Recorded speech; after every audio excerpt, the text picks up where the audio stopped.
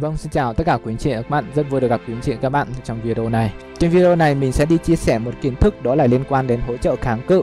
Thì cái nội dung này có một bạn comment trong video để yêu cầu mình chia sẻ cái nội dung này. Thì đây có lẽ là một nội dung cũng không đến nỗi quá là khó, không đến nỗi quá là trừu tượng. Thì đa số là chỉ những nhà đầu tư mới này, những quý anh chị mới mới tham gia thị trường thì chúng ta cũng phải biết được những cái kiến thức nó khá là đơn giản, nó không đến nỗi khá là phức tạp vậy thì chúng ta cũng nên tìm hiểu. Vậy thì trong video này mình sẽ đi giới thiệu cho quý anh chị biết như thế nào là kháng cự như như thế nào là hỗ trợ? như thế nào thì có gọi là kháng cự kháng cự mạnh, kháng cự yếu? hay là như thế nào là hỗ trợ mạnh, hay là hỗ trợ yếu? và là chúng ta có bao nhiêu loại kháng cự hỗ trợ trong cái thị trường góc độ phân tích kỹ thuật này? Đầu tiên chúng ta sẽ đi cùng nhau về tìm hiểu kháng cự là gì. Kháng cự là tại mức giá đó mà cổ phiếu có thể bị phản ứng giảm xuống đây, ví dụ như ở cái vùng đỉnh này. Vậy thì khi giá cổ phiếu lên đến ở đây thì nó sẽ khả năng nó bị đào xuống. Hay là những cái vùng này, đấy, đỉnh ở đây. Thì khi giá xuống đến chạm những cái vùng đỉnh này thì khả năng giá nó sẽ bị phản ứng đảo xuống. Đó, nó sẽ bị đảo xuống này, đảo xuống này. Đây là kháng cự. Còn hỗ trợ là gì? Hỗ trợ là tại cái mức giá đó. Khi giá chạm đến nó thì nó có thể bật lên nó có thể bật lên. Ví dụ như những ở những cái vị trí này khi giá nó cứ loanh loanh quanh loanh quanh ở trên này chạm xuống phía dưới này nó lại bật lên chạm phía dưới này chạm bật lên bật lên. Đây là hỗ trợ. Vậy chúng ta sẽ có bao nhiêu loại kháng cự? Kháng cự chúng ta có thể dùng đỉnh đáy giống như hiện tại mình vừa vé cho quý anh chị biết này. Đấy, những cái vùng đỉnh đáy này. Hoặc là chúng ta có thể sử dụng các đường trung bình ví dụ như MA20 hay là MA50 hay là MA100 đối với đường MA20 là chúng ta sử dụng cho hỗ trợ kháng cự ở ngắn hạn. Còn đối với MA50 thì chúng ta hay sử dụng cho đường hỗ trợ kháng cự trung hạn. Còn đường từ MA100 trở lên ấy, thì là chúng ta sử dụng cho dài hạn trở lên. Thông thường chúng ta hay sử dụng MA100 hoặc là thậm chí có người còn sử dụng MA 150 hay là MA 200 Nói chung đấy là MA trung bình từ 100 trở lên đó là chúng ta sử dụng để đánh giá dài hạn nhé Bây giờ chúng ta sẽ đi tìm hiểu như thế nào là kháng cự mạnh, như thế nào là hỗ trợ mạnh. Đầu tiên chúng ta sẽ đi xem xét về loại kháng cự đáy đỉnh. Thì loại kháng cự đáy đỉnh chúng ta sẽ phải xem xét cái vùng đỉnh đó, cái vùng đáy đó, mấu nến của chúng ta có bị rút đầu hay không rút chân hay không? Rút chân càng dài thì hỗ trợ càng mạnh. Rút đầu càng dài thì kháng cự càng mạnh. Nếu tại cái mấu nến nó bị rút đầu đó cộng thêm khối lượng tăng cao, khối lượng lớn thì cái mức độ hỗ trợ kháng cự đó nó sẽ mạnh, tăng gấp bội lần trở lên. Khối lượng càng tăng mạnh thì cái mức độ uh, hỗ trợ kháng cự đó nó sẽ càng mạnh. Đây là điều lưu ý một vài những cái cách chúng ta sử dụng hỗ trợ kháng cự theo kiểu đáy đỉnh. Thì như ở tại thời điểm này như quý anh chị biết này đây đây sẽ là một kháng cự. Giả sử tại cái thời điểm này cổ phiếu nó đang giao dịch ở đây nó bị rút chân cộng thêm volume như này cộng thêm volume cao này, cộng thêm có rút đầu này. Thì đây là một kháng cự. Vậy chúng ta biết kháng cự này nó sẽ không phải là dạng bình thường mà là nó cũng khá là mạnh, đúng không ạ? Không phải là kháng cự yếu. Thế còn hỗ trợ tại cái vùng đó thì sao? Cổ phiếu đang ở đây thì tất nhiên là hỗ trợ nó sẽ ở cái vùng đáy này rồi. Mà cái hỗ trợ ở cái vùng đáy này nó là mạnh, nó khá là mạnh là chính là cái hỗ trợ này này. Đây chính là cái hỗ trợ này. Vậy thì trước đó cái mức hỗ trợ này như quý anh chị thấy này đấy rút chân rất là dài cái nến rút chân rất là dài. Mà cộng với volume nó cũng có tăng một tẹo. Tuy nhiên thì cái volume này nó không đáng kể nhưng mà chúng chúng ta thấy này có là cái volume uh, cái cái mấu nến nó bị rút chân rất là dài. Vậy thì nó rất là mạnh. Vậy thì đây sẽ là những cái hỗ trợ là cái hỗ trợ nó mạnh. Vậy chúng ta thấy này đấy nó chạm ở đây nó bật lên. Về vùng hỗ trợ nó bật lên. Hay là về vùng hỗ trợ nó bật lên. Vậy thì đây sẽ là một hỗ trợ. Vậy thì với những cái hỗ trợ kháng cự này thì nó sẽ có những đặc điểm gì, đặc tính gì? Đối với kháng cự thì khi giá chạm chạm xuống đây thì nó sẽ khả năng bật lên thì đấy sẽ là cái điều tất nhiên. Thế nếu giá vượt thì sao? Vượt xuống thì sao? Và nếu đối với kháng cự thì giá có bật tăng qua cái kháng cự đó thì như thế nào? Thì chúng ta cũng phải biết những cái tính chất của hỗ trợ kháng cự đó. Không phải lúc nào hỗ trợ nó cũng đẩy được giá lên như này nó cũng sẽ có trường hợp nó bị fail đi xuống. Đó là nó phá hỗ trợ và nó cũng không phải lúc nào kháng cự nó cũng đỡ được đẩy giá đi xuống. Và nó cũng sẽ có trường hợp nó đi lên như này. Vậy thì cái trường hợp nào chúng ta sẽ sử dụng nó ra sao và chúng ta mua vào tại những cái thời điểm nào? Vậy thì như ở đây, chúng ta sẽ xem xét cái chỗ hỗ trợ kháng cự này nó rất là có đặc điểm rất là rõ ràng. Vậy thì các bạn xem này, tại cái vùng kháng cự này. Đó, vùng kháng cự này khi cổ phiếu nó giao dịch mà nó có một cây nến là nó nó vượt khỏi này. Đấy, nó vượt khỏi kháng cự này thì đây là cái điểm tích cực rồi. Là cái điểm tích cực mà thậm chí nó còn cộng với volume nó tăng lên lên như này. Thì chúng ta có mua đuổi hay không? Bởi vì chúng ta biết trong kiến thức là nếu cổ phiếu nó có vượt qua kháng cự này, nó sẽ khả năng nó đi lên. Đó, nó sẽ khả năng nó đi lên tiếp. Vậy thì chúng ta có cần nhất thiết mua đuổi như này không? Thì khả năng sau khi vượt kháng cự như này thì cổ phiếu nó sẽ quay trở lại, nó chỉnh, nó test lại cái kháng cự này nữa, nó mới đi lên.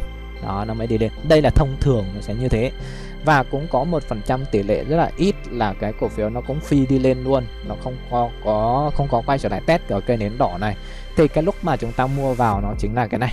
Nó chính là một hai cây nến mà nó quay trở lại test. Đây chính là cái thời điểm chúng ta mua vào hợp lý nhất để khi nó vượt đỉnh thì chúng ta mua vào. Nó gọi là vượt đỉnh mua vào.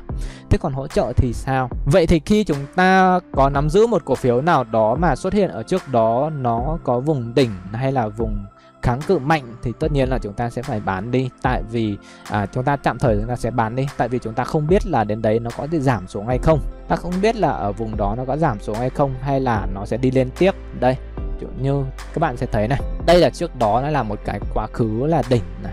Đó là hạt kháng cự này. Thì chúng ta thấy khi cổ phiếu đến đây sắp chạm hoặc là thậm chí là chạm nó sẽ đi xuống. Nó sẽ đi xuống. Đấy nó sẽ đi xuống vậy thì khi dắt sát ở những cái kháng cự này thì chúng ta sẽ phải bán đi. Chúng ta bán đi tạm thời chúng ta bán đi. Tại vì chúng ta không không phải lúc nào nó cũng có thể là đi, đi tăng đi lên vượt qua được khỏi cái này. Đấy đây là cái điều uh, chính vì thế chúng ta phải tránh những cái hỗ trợ uh, những cái kháng cự như thế. Thế còn hỗ trợ thì sao? Hỗ trợ là cái mức mà chúng ta đi tìm giá mua. Các bạn là tìm giá mua hay là những cái này? Đây đây là một cái vùng kháng cự ở, ở đây là vùng hỗ trợ mạnh thì chúng ta thấy rồi vùng hỗ trợ nó bị rút chân mạnh như này. Thì khi cổ phiếu nó đến những cái vùng hỗ trợ này thì chúng ta tạm thời chúng ta mua vào với kỳ vọng là nó sẽ được giữ và đẩy giá đi lên đó đó mua vào. Thế còn cắt lỗ thì sao? Tất nhiên là chúng bây giờ chúng ta mua vào chúng ta phải biết điểm cắt lỗ đúng không? Thì nó sẽ phải là phá khỏi cái vùng hỗ trợ này chưa đó nó phải phá khỏi vùng đóng cửa nhé khỏi cái hỗ trợ này thì chúng ta mới bán đi đó là cắt lỗ đi và tất nhiên, nó không xuống thì nó bật lên thì chúng ta vẫn cứ giữ. Giữ cho đến khi nào mà nó sẽ lanh quanh lanh quanh gặp những cái vùng kháng cự này. Tất nhiên, mỗi một cổ phiếu tại một thời điểm nào đó, nó sẽ vừa có kháng cự, vừa có hỗ trợ như thế này. Đây là kháng cự ngang, thế còn sử dụng đường trung bình thì sao? Dùng đường trung bình thì chúng ta sẽ xem xét rất là nhiều đường như này. Như quý anh chị, chúng ta chủ yếu là giao dịch ngắn hạn thì chúng ta chủ yếu là xem xét cái đường trung bình MA20 này này đường trung bình MA20 mình sẽ để đậm lên một chút để chúng ta dễ quan sát hơn. Đó, cái đường MA20 thì chúng ta chủ yếu là sử dụng để giao dịch cho ngắn hạn mà thôi. Còn 50 là trung hạn, còn trừ 100 trở lên là dài hạn. Giá mà đang nằm ở trên MA20 thì MA20 nó thành là đường hỗ trợ. Đó, nó thành đường hỗ trợ. Vậy khi giá đóng cửa xuống dưới MA20 rồi thì MA20 nó lập tức, ví dụ như cái nến này chẳng hạn, thì nó lập tức trở thành kháng cự luôn đó, thì những cái cổ phiếu mà khi nó vượt khỏi đường MA20 như này, xem mỗi MA20 nhá, còn các đường khác thì nó vẫn giống nhau thôi, kiến thức là giống nhau cả. Như chúng ta thấy này, khi giá đóng cửa nó vượt khỏi MA20 vậy bây giờ MA20 nó thành hỗ trợ rồi. Vậy thì khả năng cái hỗ trợ nó cũng giống như cái mức ngang như này thôi, cái hỗ trợ đỉnh đầu này, thì nó cũng sẽ có khả năng nó quay trở lại. Khi nó vượt khỏi rồi, nó sẽ có khả năng nó quay trở lại test, sau đó nó mới đi lên tiếp được đó.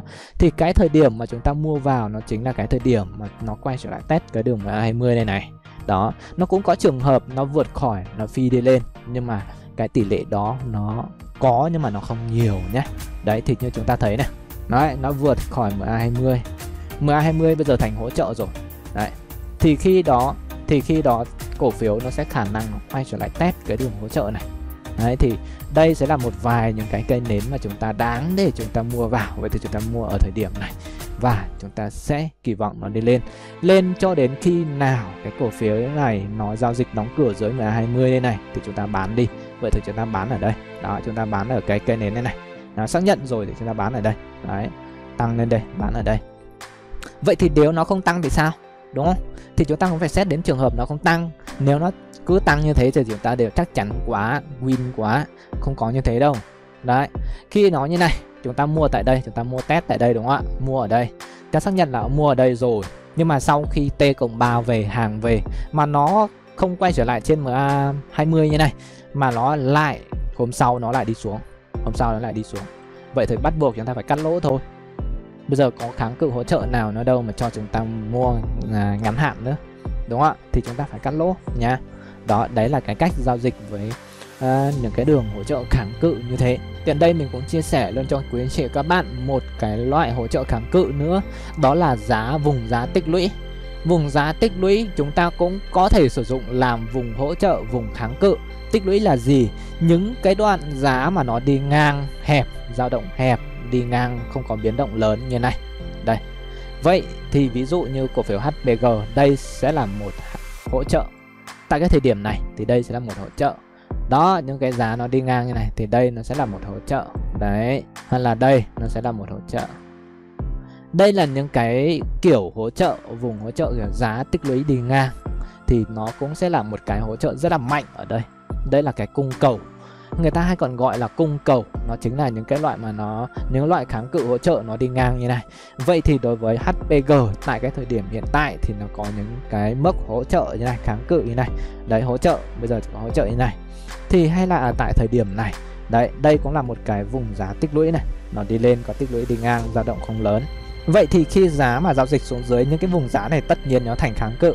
Vậy đối với ví dụ như HPG chẳng hạn thì cái mức giá này hiện tại nó thành kháng cự rồi vậy thì chỉ còn những phía dưới này nó thành hỗ trợ.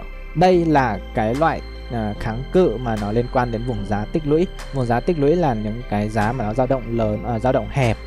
Nó đi ngang ít nhất là từ 3 đến 5 phiên trở lên. Thì đây là cái loại hỗ trợ kháng cự nó dựa vào vùng giá tích lũy đối với những kiến thức mà hỗ trợ kháng cự này thì nó không không đến nỗi là khá là phức tạp. Thì quý anh chị các bạn có thể là uh, lên trên mạng để đọc thêm này chúng ta đọc thêm chúng ta sẽ hiểu hơn nhiều hơn về cách nói như này thì nhiều khi chúng ta nó lơ ma lơ mơ hơn một chút. Vâng thì video đây là mình cũng vừa chia sẻ một chút kiến thức lý thuyết liên quan đến hỗ trợ kháng cự. Thì cái này chủ yếu là quý anh chị chỉ, chúng ta sẽ phải xem nhiều này, dùng nhiều thì chúng ta sẽ quen hoặc là chúng ta có thể, quý anh chị các bạn có thể là lên đọc lý thuyết về cái hỗ trợ kháng cự này thì chúng ta sẽ hiểu sâu hơn. Còn đây là về góc cạnh là mình áp dụng trên những cái biểu đồ đường giá hơn đường giá luôn cho quý anh chị xem rồi. Nếu quý anh chị các bạn có gì thắc mắc thì cứ bình luận xuống phía dưới video, hoặc là inbox trực tiếp mình trên fanpage nhé xin cảm ơn quý anh chị các bạn đã xem video đến thời điểm này. Xin chào và hẹn gặp lại ở những video sau ạ.